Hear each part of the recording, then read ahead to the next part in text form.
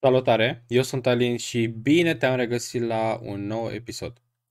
Astăzi vreau să facem câteva lucruri interesante legate de debugging, legate de CSS și alte lucruri la care te vor ajuta foarte mult în uh, drumul tău spre a învăța. Ok, avem uh, codul pe care l-am l-am scris deja în videourile trecute. Și ceea ce vreau eu să fac acum, o să șterg partea asta de body, o să las uh, spațiu. Iar aici la body o să vreau să punem uh, un titlu, de fapt nu un titlu, uh, de fapt da, un titlu doar că uh, în interiorul paginii, deci voi pune H1 și o să pun uh, eu sunt Alin, o să o închid, după care o să pun un paragraf, un P, un programator. O să-l închid și pe ăsta. Și dacă dăm uh, save, să dăm save all, și acum o să luăm linkul și îl punem pe Chrome. După cum vedeți, avem uh, titlu și paragraf. Da. Deci, două lucruri simple, însă evident față de site-ul pe care noi vrem să-l creăm, acela pe care voi l-ați uh, văzut în primul videoclip din această zi, uh, sunt uh, diferențe destul de mari Uh, fapt ceea ce duce la mult mai multă muncă decât uh, a pune un titlu și un paragraf. Însă astăzi vreau doar să facem partea de concept și de înțelegere. Da? Acum, ceea ce vreau să vă recomand este un tool destul de interesant. Se numește Pesticide. Eu l-am uh, uh, pus deja aici ca să-l vedeți. Să spunem că intrăm la pagina Google, da? O avem, uh, o avem deja pusă. O să apăsăm pe Pesticide. Și după cum vedeți, el este împărțit pe mai multe bucăți, da? Avem ecranul împărțit pe mai multe bucăți, partea de sus, partea de jos, um, partea de mijloc, fiecare uh, lucru, da? Tot ceea ce înseamnă uh, așezare, tot ceea ce înseamnă Uh, butoane, tot ceea ce înseamnă linkuri, totul este așezat uh, oarecum simetric și mm, organizat uh, oarecum tabelar, să spunem, între ghilimele, da? Adică are o așezare, noi îi spunem boxes, da? Deci are o așezare, un tip de așezare. Acum, o să îl închid, o să revenim la site-ul nostru și o să dăm inspect. Și după cum vedeți, ni s-a deschis o, um, o sursă a codului, practic. O să le deschidem pe astea două, uh, head și body. După cum vedeți, e exact codul pe care noi l-am scris. Da?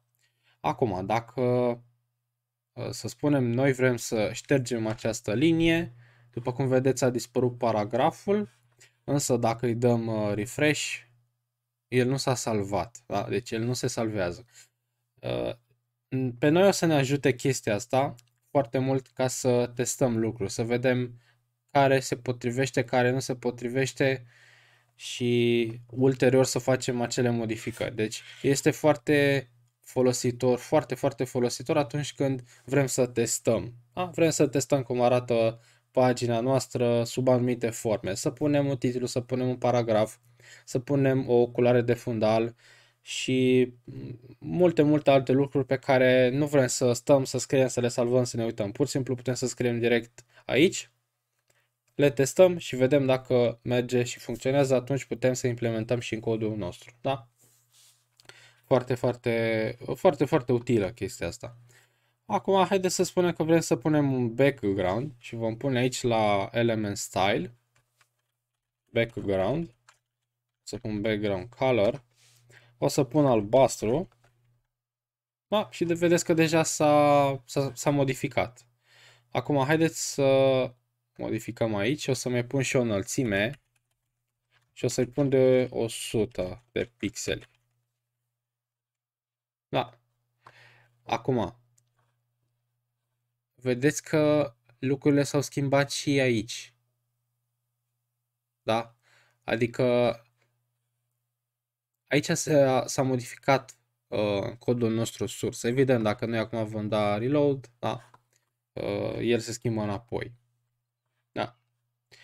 Acum, vedeți voi aici jos, da, este um, oarecum o planșă a ceea ce vedem noi. Da. La fel, astea sunt boxes. Da. Avem margin, avem padding, avem uh, teoretic mijlocul și așa mai departe. Acum, dacă să spunem asta, o să apăsăm dublu click și vom da 0 și salvăm, vedeți că el s-a s-a modificat în body. Da? De ce se întâmplă acest lucru? Pentru că el vine predefinit cu niște, uh, niște mm, dimensiuni. Pot să le spun dimensiuni, da? Dacă îi dăm și aici 0, da, margin right, 0 și haideți să punem și aici 0. Da. Evident că aceste lucruri s-au s-au modificat. Da. Acum vedeți că dacă eu uh, las uh, mouse-ul, adică cursorul, pe body, el îmi selectează body-ul. Dacă las cursorul pe H1, vedeți, selectează doar titlul și paragraful la fel. Da. Vedeți, el are și niște dimensiuni predefinite, dacă vă uitați uh, acolo la, la paragraf, are niște dimensiuni. Da. Evident, ele se pot schimba, se pot modula. Deci, uh, pentru ce folosim acest lucru vreau să mai uh, reamintesc încă o dată. Facem acest uh, lucru de inspect pentru a testa. Deci o să ne fie mult mai ușor să, uh, să testăm pagina, să vedem ce și cum, pentru că uh, în timp o să vedeți că atunci când salvăm un atom, copiem linkul, vedem dacă este ok, iar modificăm. Uh, prin chestia asta vom salva timp, uh, foarte mult timp. Da. Acum haideți să dăm uh, reload. Da, uh, modificările sunt uh, la fel. Au rămas uh, ca cele din codul sursă. Da. Ok, acum. Ceea ce vreau să facem Uh, haideți să definim o clasă în uh, interiorul la body. Pune div uh, class. O să-l las așa. Acum vreau să o închid. Div. Da. La fel o să dăm uh, save all și copy full path. Copiem linkul nostru, the mentor. Uh, teoretic el nu are, pentru că nu are nimic în interiorul lui, nu o să vedem o schimbare vizuală. Uh, haideți să dăm inspect. După cum vedeți, um, dați așa puțin, aici el s-a modificat, da? Avem div class care, după cum vedeți, are dimensiunile 1349 pe 0. Deci, după cum am spus, el vine cu niște uh, dimensiuni predefinite. Da? Evident, noi le putem schimba. Haideți să mai punem o dată background. Deci, background color. Îl punem la fel albastru și height o să pun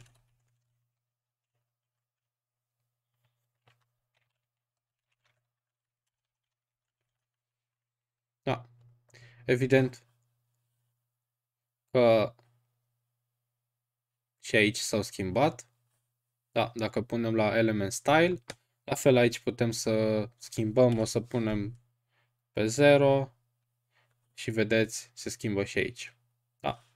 Da. Acum, dacă o să, o să punem cursorul pe div class, el teoretic înăuntru lui nu are nimic. Da?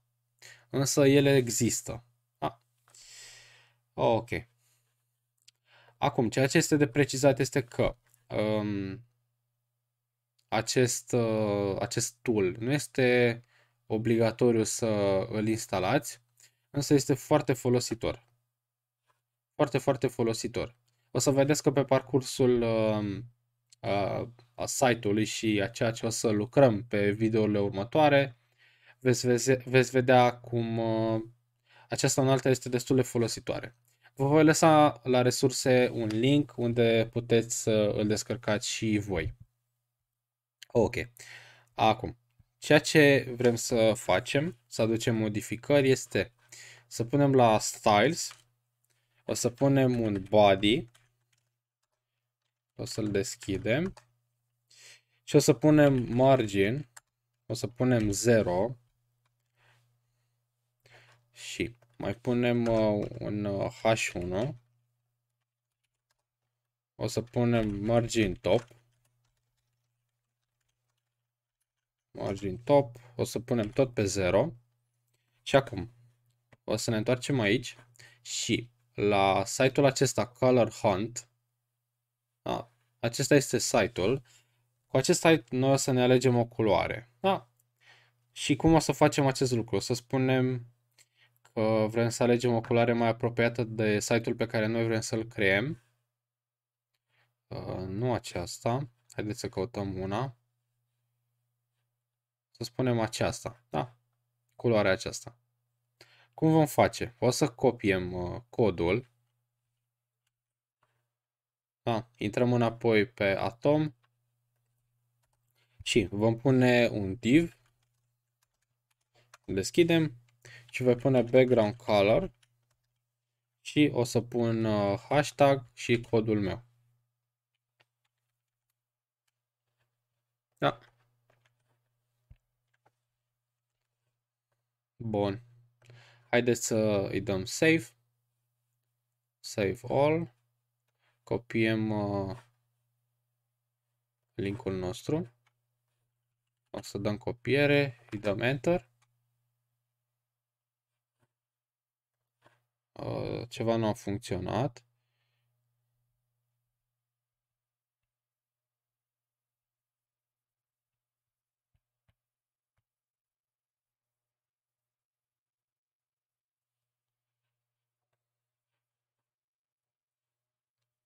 Background color, margin top,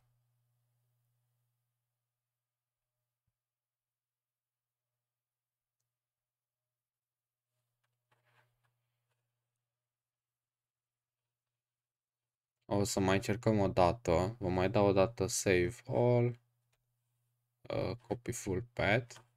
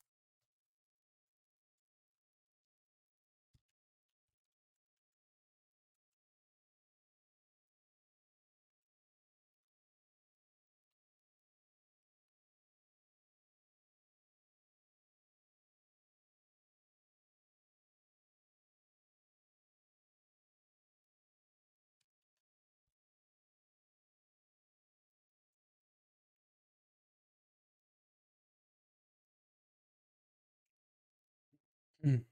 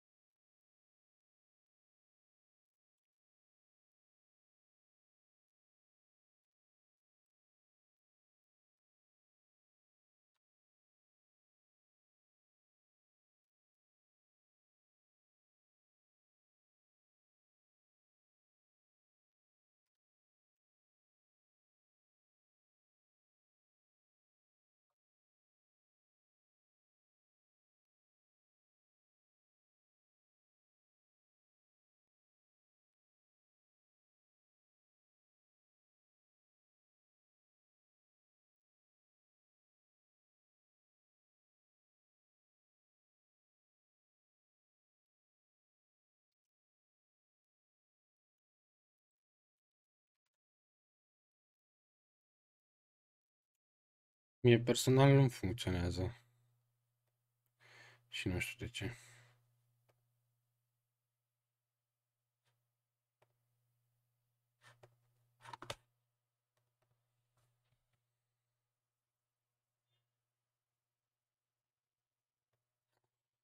Cu toți morții, mătii.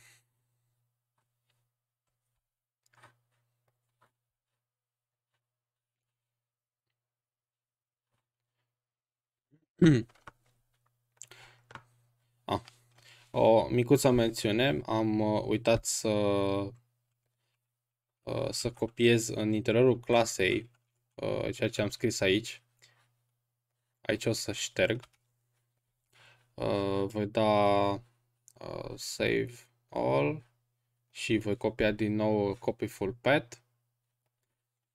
O să-l copiez și după cum vedeți, background-ul s-a schimbat. Da.